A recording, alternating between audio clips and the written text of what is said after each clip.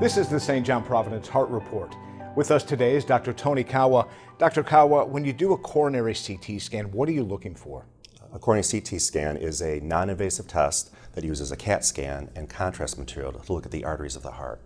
We're looking for artery blockages either by soft plaque or calcified plaque, or just calcium that looks at what a patient's risk is for possible future events like a heart attack. Who should be getting this test? Who are the best candidates? Uh, candidates are patients that usually do not already have evidence of coronary disease from prior MI or stenting, but uh, are at risk, um, either from familial or multiple risk factors, who've had prior testing that has been indeterminate or negative. It helps direct our care for whether future testing is needed, like invasive testing or medical treatment. For more information about heart care at St. John Providence, visit our website at stjohnprovidence.org.